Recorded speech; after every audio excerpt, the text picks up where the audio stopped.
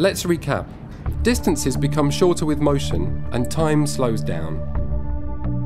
And these effects depend on who is observing them. Einstein knew that space and time are not independent as had been previously thought. Rather, they are different aspects of a flexible four dimensional totality known as space time. A reality which changes in relation to a single absolute value, the speed of light. Yet, this is not everything. Einstein demonstrated that because of light, other qualities of physics are also relative. The energy of an object is equal to the motion of its mass. This discovery had a significant effect. If an object were to move at a speed approaching the speed of light, its mass would increase to the point where it would become infinite. It would therefore need an infinite amount of energy to attain the speed of light. This means that nothing can reach the speed of light. Einstein's equation explains how the Sun converts its mass into energy. It also contains a warning. A small quantity of mass can produce devastating energy. Barely half a gram of mass was enough to destroy the whole city of Hiroshima. Dramatic consequences that would forever haunt the conscience of a pacifist like Albert Einstein. With his theory of special relativity of 1905, Einstein had discovered a fundamental law of the universe the speed of light. An impassable cosmic limit that gives meaning to reality and reveals the true nature of space and time. A law as fundamental as gravity. The force that keeps planets in their orbit and our feet on the ground the first force discovered by science thanks to a famous accident that happened over 250 years ago. A young man was sitting under a tree when he saw an apple fall. It was Isaac Newton, and this little accident led him to the most important realization in the history of science. He realized that the force that pulled the apple and the force that moved the planets was the same. With gravity, the sky and the earth were united by a single theory. Newton's and Einstein's theories contradict one another.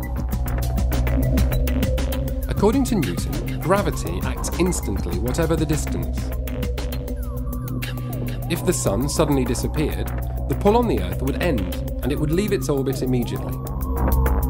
This would mean that the pull of gravity travels at infinite speed. However, the theory of relativity demands that nothing can travel faster than light. If this were the case, it would be eight minutes before the Earth was plunged into darkness after the disappearance of the Sun, as this is the time its light takes to reach us. For 10 years, Einstein worked to formulate a theory of gravity consistent with special relativity. And in 1915, he proposed an even more revolutionary theory the theory of general relativity.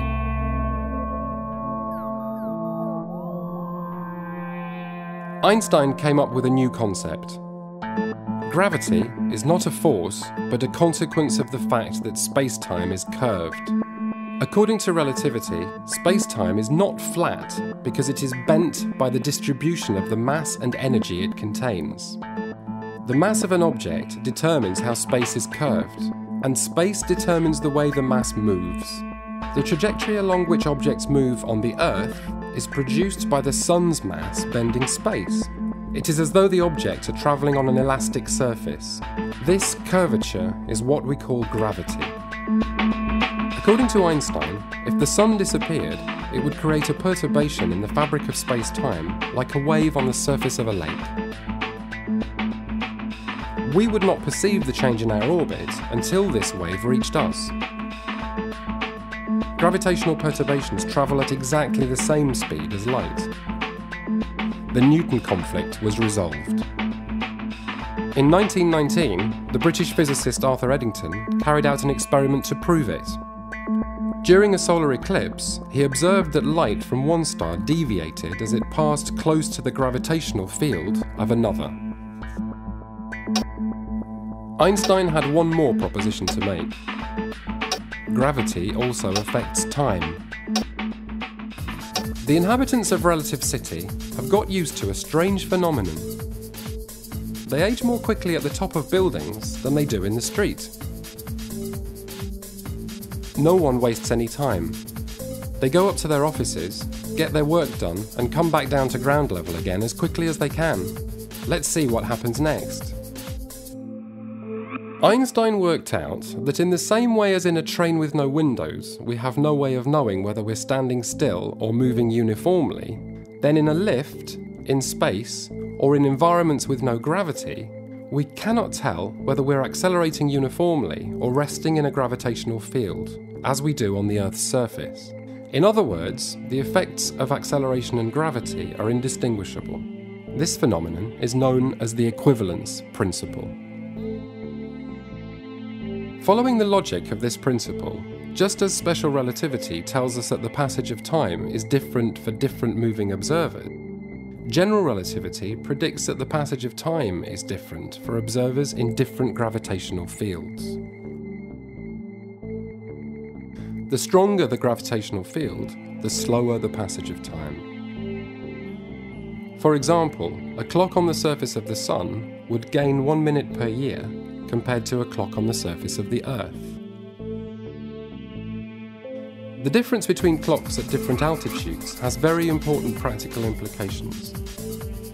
Satellites and aeroplanes rely on Einstein's calculations to work properly.